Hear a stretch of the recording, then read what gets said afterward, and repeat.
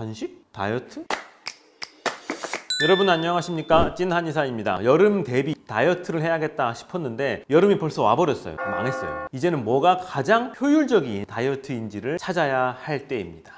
그런데 말입니다. 간헐적 단식이라는 방법을 통해 살을 빼다가 죽을 것 같다는 분이 계셔서 찾아가 봤습니다. 왜 그러세요?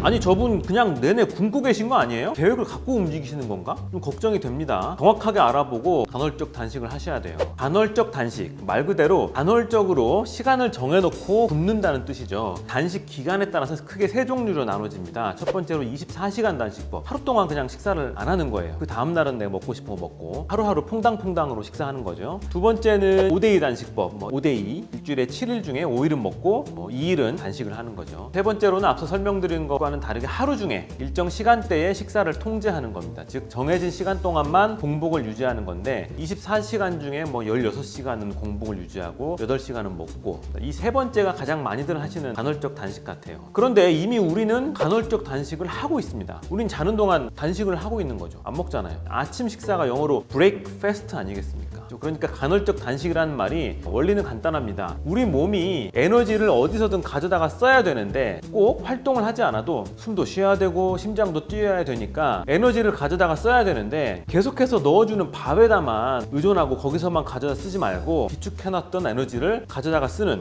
그런 습관을 길러주는 거예요. 우리 몸에는 생체 주기가 있습니다. 적절한 시간대에 생리학적인 처리 과정이 이루어질 수 있게 생체 주기 시계라는 것이 몸 안에 작동되고 있어요. 그래서 적절한 시간대에 그에 맞는 활동을 하는 것은 호르몬 분비라든지 신진대사에 있어서 아주 중요한 역할을 합니다. 따라서 뇌를 비롯해서 우리 몸 전체에 영향을 줄 수 있는데요. 밤에 막 음식을 먹거나 밤늦게 막 강도 높은 운동을 한다거나 이 시간대에 맞지 않는 이상한 행동들 수면에도 문제를 주고 에너지 대사, 면역 체계에도 큰 영향을 끼치게 됩니다. 간헐적 단식과 밤 시간에 못 먹게 하는 것, 식사를 제한하는 것이 신진대사에 있어서 아주 긍정적인 영향을 주고 영양 과잉으로 인한 질병들, 즉 비만이나 당뇨 등의 만성 질환 확률을 낮출 수 있다고 합니다. 정리하겠습니다. 생체 주기와 사회적인 생활 습관에 따라서 아침, 점심 적당량 드시고 쓸데없는 간식 줄이고 일단 해가 졌다. 아침까지 안 먹으면 되는 거예요. 말은 진짜 쉽다 그죠? 그런데 이게 쉽지가 않죠. 알면 뭐 합니까?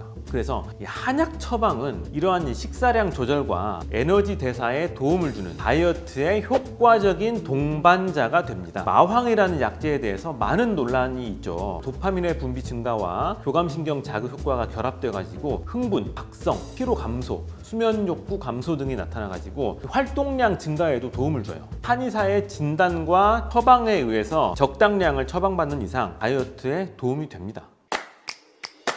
네, 다이어트는 원래 내일부터 하는 거니까 내일부터 장기적으로 목표를 설정하고 꾸준하게 실천하는 게 다이어트의 성공의 핵심이 되겠습니다. 자기 생활 패턴에 맞게 무리하지 않는 행복한 다이어트 하시기 바랍니다. 이상 찐 한의사였습니다.